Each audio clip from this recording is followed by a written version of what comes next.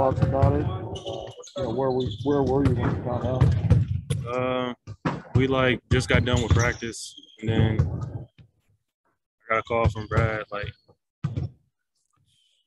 30 minutes after practice. And he told me I was going to be part of the trade to San Antonio. But I mean, I don't, know. I don't know what to say. I mean, I did, it is what it is. It's out of my control. Um, I'm glad to be with San Antonio, um, with another great organization. Happy to grow here. It's a young team. You know, a lot of guys up and coming. Dejounte, Keldon. Um, how have you viewed them from the outside? Uh, you know what they're going through the rebuilding phase, and, and uh, how much you know about Coach Pop? Have you dealt with him? Have you? I mean, have you got to know him at all? Uh,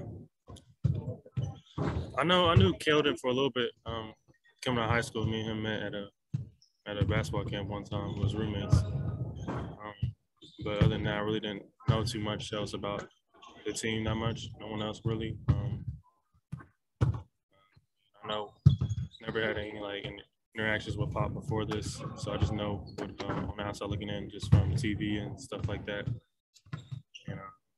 I just know that it's a young, a lot of young guys, real, real building, rebuilding, and um, just trying to trying to rebuild the organization and be great again. What are you, are you looking for like a fresh start here in San Antonio or Boston?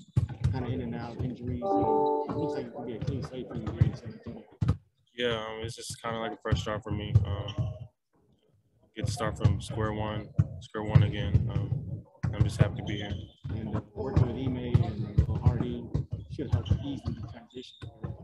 Uh, a little bit. I mean, I can kind of see some things that they try to implement in Boston uh, when I was there um, that we kind of did here in shoot around. So a little bit, yeah. What do you like about jo- Josh's game, Josh Richardson? Uh, he's just versatile. Um, he can shoot the ball. He can just do a little bit of, really do a little bit of everything. Um, and he's a good, good playmaker. Um, I mean, just whatever is needed. Um, there's a lot of guys here. I mean, I feel like we all can kind of do the same thing, and it just depends on what night and what night it is and what the team needs at that, at that time. Thanks a lot. Good, good luck. Appreciate that.